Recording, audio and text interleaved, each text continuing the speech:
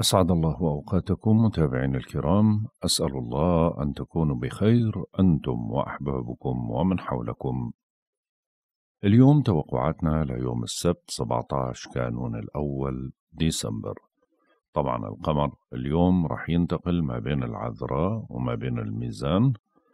القمر الآن موجود في برج العذراء هو موعد بث الحلقة مساء يوم الجمعة.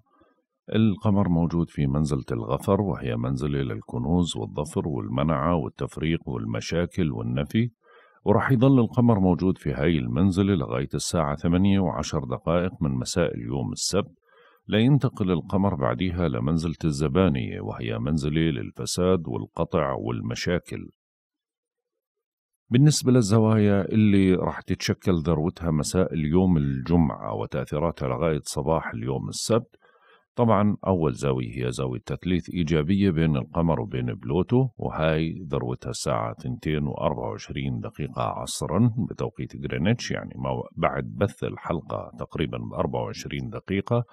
تأثيراتها من الآن ولغاية ساعات الصباح. هاي الزاوية بتعزز قدرتنا على السيطرة على مشاعرنا وأفكارنا وبنتمكن من الغوص عميقا في نفوسنا وإحداث التغييرات المطلوبة. أما بالنسبة للزاوية التي تليها وهي زاوية تقابل سلبية بين القمر وبين المشتري. وهاي راح تكون ذروتها الساعة 7 و12 دقيقة من مساء اليوم الجمعة برضو تأثيراتها من الآن ولغاية ساعات الصباح.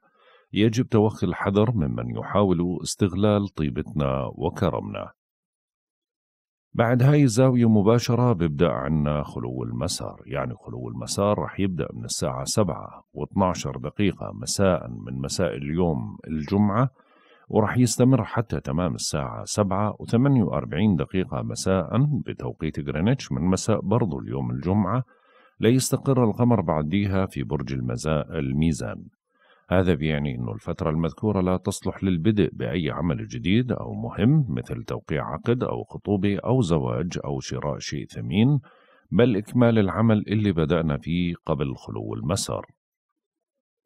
الساعة سبعة وثمانية وأربعين دقيقة مساء خلص القمر بنتقل وبستقر في برج الميزان. عشان هيك بتصير هاي الفترة أفضل فترة عاطفية لتعزيز أوصار علاقة عاطفية مع الحبيب أو تحسين علاقة زوجية نالها بعض التوتر. منكون اجتماعيين أكثر ومنميل للاسترخاء بيجد الغرام متنفس لدى العشاق ولكن ممكن تلعب الغيرة دور في علاقة لم تستقر بعد. في فترة يعني هاي الفترة ممكن ننجح فيها بأعمالنا الفنية وبوسعنا القيام بمشروع مشترك ويمكننا أيضا إقامة حفلة أو إعادة تزيين البيت أو المكتب أو اقتناء حاجية جميلة. بالنسبة للزوايا البطيئة طبعا أول زاوية هي زاوية تربيع سلبية بين الشمس وبين المشتري وهاي راح تكون بدايتها اليوم اللي هو 17 الشهر وراح تستمر تأثيراتها لغاية يوم 26 12 ذروتها يوم 22 12 الساعة 12 و50 دقيقة فجرا يعني بعد منتصف الليل بخمسين دقيقة هاي زاوية بتبدد الحظوظ في أي مسعى منقوم فيه. من ميل للعيش دون مستوانا وبرضه منبذر أموالنا. أهم إشي بالفترة هاي نتجنب أي شيء له علاقة بالقمار والمراهنات والمضاربات المالية. ممكن نتعرض لبعض المشاكل مع السلطات أو العدالة بسبب الأمور المالية. وعادة هذا الاتصال بيسبب مغالاة في النفقات وخسارات مالية وفشل مشاريع.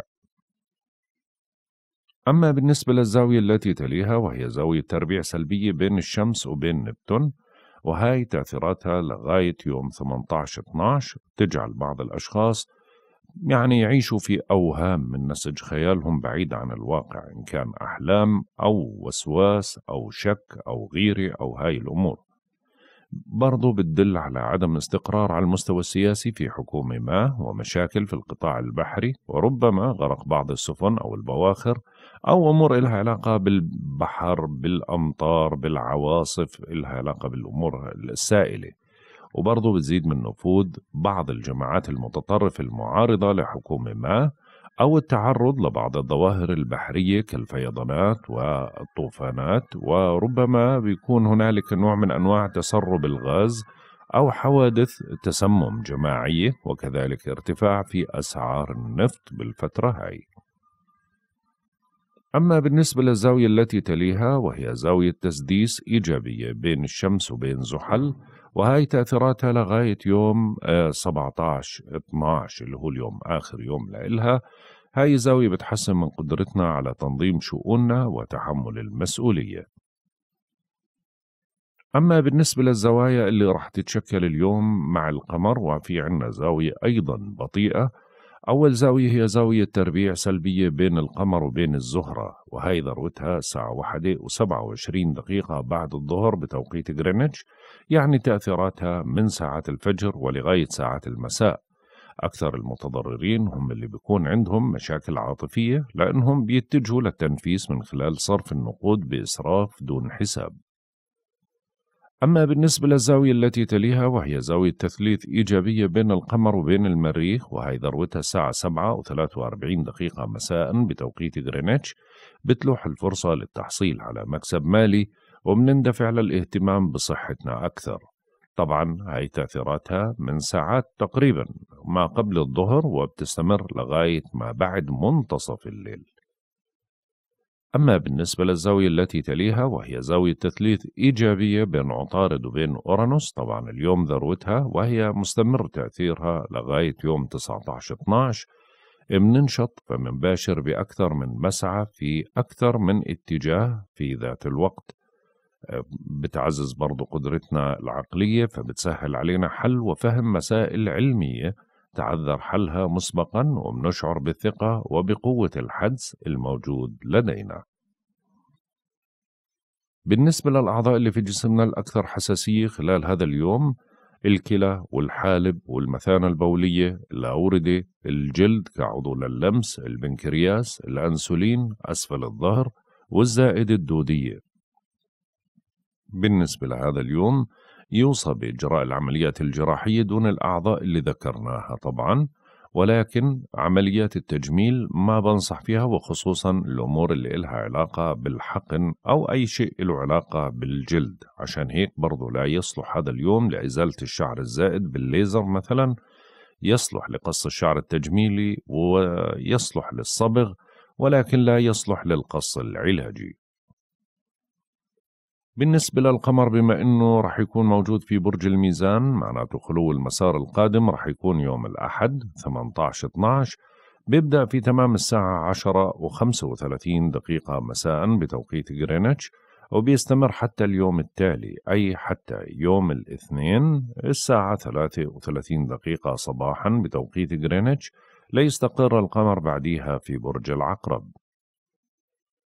أما بالنسبة لعمر القمر عمر القمر انحسار الهلال عمره 24 يوم في تمام الساعة 11 و 28 دقيقة مساء بصير عمره 25 يوم نسبة الإضاءة 38% أما بالنسبة لمزاج الكواكب وطباع الكواكب لهذا اليوم.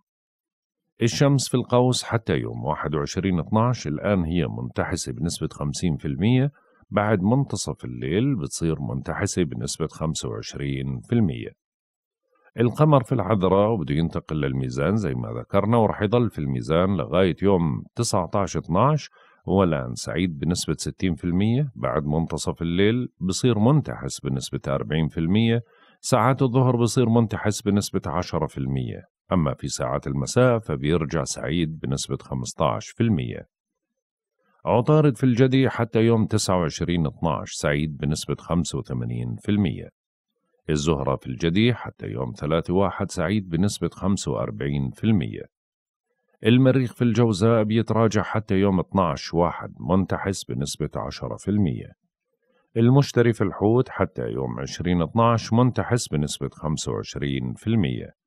زحل في الدلو حتى يوم 7 3 منتحس بنسبة 10% وأورانوس في الثور بيتراجع حتى يوم 22 واحد منتحس بنسبة 10% ونبتون في الحوت حتى يوم 30 ستة سعيد بنسبة 15% وبلوتو في الجدي حتى يوم 23 ثلاثة سعيد بنسبة 15% وصلنا للتوقعات اليومية. برج الحمل. بترغبوا اليوم في تدعيم شراكاتكم ويعتبر هذا يوم مناسب للقيام بعمل بتطلب تعاون من طرف ثاني. ولكن القمر موجود مقابلكم تماما فعشان هيك ما بيجوز إثارة المتاعب تجنبوا الانفعال والقرارات المرتجلة والتصرفات العدائية. وحذروا من الحوادث والأعداء لأنهم في هاي الفترة بصيروا يعني موجودين بالساحة عندك وطاقتك ضعيفة. فأي قرار أو انفعال راح يتسجل ضدك. برج الثور. انجزوا ما تراكم لديكم من عمل وبرضو اليوم تجدوا تعاون من الزملاء. نظموا جدول غذائكم وخذوا قسط من الراحة من حين لآخر لأنه القمر موجود في بيت العمل وبيت الصحة عشان هيك بيركز على الأمرين هدول. من المستحسن التبكير لعملك والتنسيق الجيد بين مختلف الواجبات. بتكثر عندك النشاطات وربما بعض مواليد برج الثور يشعروا بالتعب. برج الجوزاء. بتشتد رغبتكم في التقرب من أحبائكم وتعزيز العلاقة معهم وبتفيدك الاتصالات واللقاءات أهم شيء إنك تلطف الأجواء وتحاول إنك ترجع العلاقات لطبيعتها. اليوم بتنال ما بترغب وبتنتصر على كل الاعتبارات. ممكن تحل بعض المسائل العالقة أو اللي كانت مستحيلة يعني فترة إيجابية ولكن ما تفرض سلطتك على الأحبة وبرضه ممكن يكون في قلق على أحد الأبناء. برج السرطان بتحتل الأمور البيتية والعائلية القسط الأكبر من تفكيركم ووسعكم التفاهم وتعزيز العلاقة مع أفراد العائلة ولكن بدكم تتجنبوا توبيخ الأحبة أو لومهم. ممكن تقلق بشأن مسألة عائلية أو شخصية. واجهوا الأمر الواقع بمنطق وحاولوا إيجاد تسويات بتحمي حقوقكم. أهم شيء إنك ما تفرض رأيك لأنها هاي فترة زي ما حكينا البيت الرابع يعني تركيزها على البيت أكثر شيء ولكن اليوم بعض مواليد برج السرطان بيهتموا بمسائل لها علاقة بالسفر أو الاستثمار. برج الأسد بتنشطوا في الدراسة والسفر والاتصالات وبوسعكم اجتياز امتحان اليوم. بتعززوا العلاقة مع الإخوة مع الجيران وبتكثر النشاطات حسب حقل اختصاصك بتكون لك لقاءات عديدة وباستطاعتك الدفاع عن حقك والتعبير بوضوح وصراحة عن مواقفك. أهم شيء أنك ما تتردد بالتحرك. اليوم الأجواء إيجابية ولكن دون انفعال ودون عصبية. برج العذراء. بالنسبة لمواليد برج العذراء اليوم بيحمل لكم فرصة لمكسب مالي بيكون على الأغلب من عمل إضافي. مع هيك بدكم يعني تكونوا حذرين على الأمور المالية بشكل كبير من المصاريف والتبذير والبذخ والمطالبات. منكم أشخاص ممكن يحصلوا على هدية أو جائزة. أهم شيء إنكم ما تتهربوا من تقديم المساعدة لقريب أو حبيب. لا تبالغوا بمصاريفكم كونوا معتدلين وموضوعيين في النقاش والمساومة. ممكن تهتموا لأمور مالية أو أمور استشفائية خلال هذا اليوم. برج الميزان. بتبدأوا اليوم فترة أفضل من سابقتها بتعيد لكم نشاطكم المفقود. برضو ثقتكم بأنفسكم كبيرة وبتنجحوا بالدفع بمصالحكم. شعبيتكم في تصاعد بتستعيد حماستك وبتنهمك بإدخال تعديلات أو تغييرات على روتينك أو على مظهرك. بتقوى نسبة النجاح بشكل كبير وبتشتد عزيمتكم وممكن تنقلب المعطيات من تلقاء ذاتها لصالحك. برج العقرب.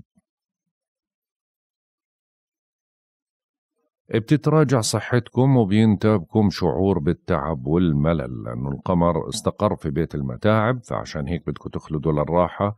حاولوا فقط إنجاز ما بوسعكم من عمل عاجل ما توقعوا على عقد ما تبدأوا عمل جديد. تعتبر هاي فترة فارغة من الحظ حللوا الأمور بهدوء ابتعدوا عن الأضواء. وما تقرروا على شيء عشان ما تخيب آمالكم وحاذروا من البلبلة والالتباسات. برج القوس. بتنشطوا اجتماعيا وبتسعدوا من لقاء الأصدقاء وتعاونهم معكم. منكم أشخاص اليوم ممكن يتلقوا دعوة لحضور حفلة أو مناسبة سعيدة. بإمكانكم تبادروا لملاقاة الآخرين في منتصف الطريق. بيطمئن بالكم لأنه اليوم تجدوا حليف يدعم تصوراتكم. أهم شيء أنه ما تستسلموا بل كرروا المحاولات. برج الجديد. يوم جيد للأشخاص اللي بيبحثوا عن عمل أو بيرغبوا في إدخال تغيير على طبيعة عملهم وبينتبه لكم المسؤولون وبقدروا جهودكم. بتتسلط عليكم الأضواء. ممكن تخضعوا لعدة تجارب مهمة أهم شيء إنه ما تضعفوا ما تجازفوا بسمعتكم. حاولوا إنكم تقوموا بواجباتكم على أحسن ما يمكن وقدموا أفضل المستطاع. الفترة في هاي فيها بعض القلق والتوتر. برج الدلو. بتنشطوا في مجال السفر والاتصالات البعيدة ويعتبر هذا يوم مناسب لإجراء مقابلة أو اجتياز امتحان. ممكن تبدأ عمل أو دراسة جديدة أو تناقش موضوع مثلا ولكن راح تناقش بقوة وذكاء وتتجرأ على رفض أي شيء ما بناسبك. ثقتك بنفسك عالية أهم شيء إنك ما تخشى شيء بل ثق بنفسك أكثر. تعتبر هاي فترة مناسبة لخوض تجربة جديدة وأيضا بعض مواليد برج الدلو ممكن يهتموا يا في أجانب يا في أشخاص خارج البلاد يا مواضيع سفر. برج الحوت. بتعيدوا تنظيم أموركم المالية المشتركة والفرصة متاحة لمكسب مصدر شراكة أو تعويض ولكن ما تهملوا صحتكم. تصبح الأجواء أكثر إيجابية وتجاوبا معكم. بتلاقي أعمالك صدى طيب أهم شي إنك ما تتكاسل بل سارع للعمل دون مماطلة أو أعذار. ممكن تظهر بعض المغامرات المالية على الساحة حاول إنك تبعد عنها أو تناقشها بج يعني ب مع أهل الاختصاص عشان ما تورط بمشاكل مالية وبرضه ما تغامر بمصاريفك. هيك منكون انتهينا من توقعاتنا لهذا اليوم. والله أعلم. يا رضا الله ورضا الوالدين. سبحانك اللهم وبحمدك. أشهد أن لا إله إلا أنت. أستغفرك وأتوب إليك. أترككم في رعاية الله وحفظه. إلى اللقاء.